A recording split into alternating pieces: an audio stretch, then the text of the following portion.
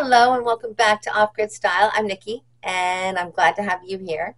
And today we are discussing having a lights out kit. Okay, this probably sounds pretty obvious to you, but you'd be surprised at some of the items that we mention in this video regarding if the power goes out and you have no lights. That is essentially what a lights out kit is. It should be somewhere in your home anyway, uh, box, whatever the case might be, that has everything you need for a light lights out kit. So let's find out what we need. Let's get started.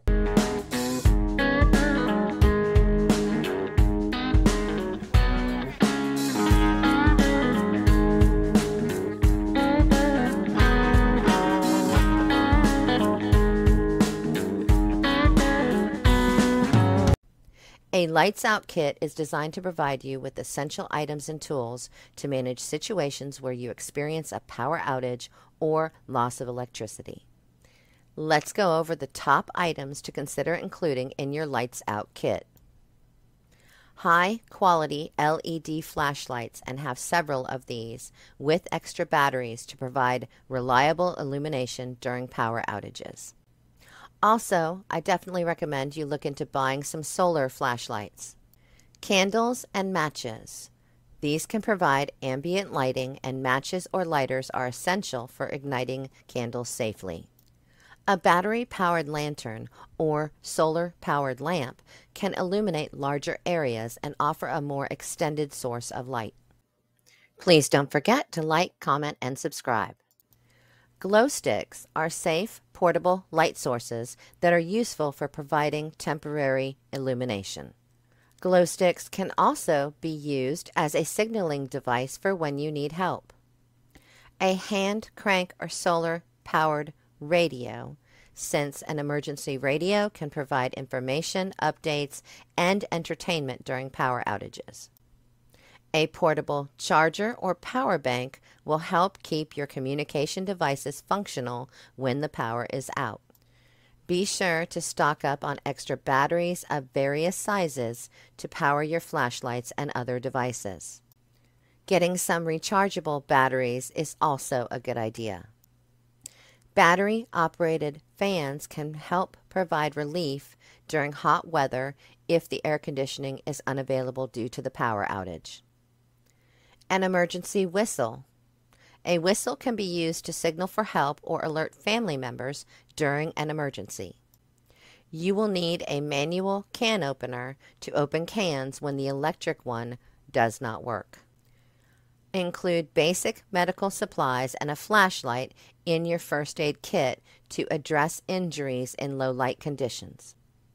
Keep notepads and pens to jot down important information, instructions, or notes. In case of extended power outages, having warm blankets or sleeping bags can provide comfort and warmth. Setting a tent up in the living room can also help when you sleep in it to keep heat in.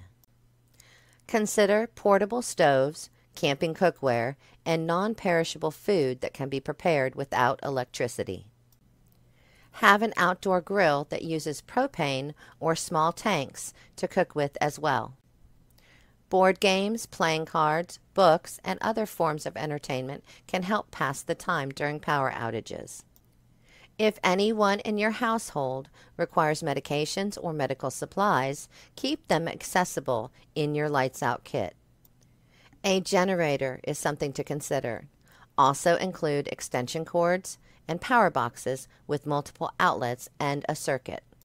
The generator will be needed to run the fridge, portable heater, portable air conditioner, fans, and oxygen machines.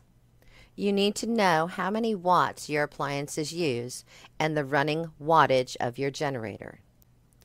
If you decide to invest in solar generators, they typically will not have as much wattage, so be careful what you run. Be sure to have some cash on hand in case ATMs and electronic payment systems are unavailable. Maps of your local area can help you navigate if GPS or online maps are inaccessible.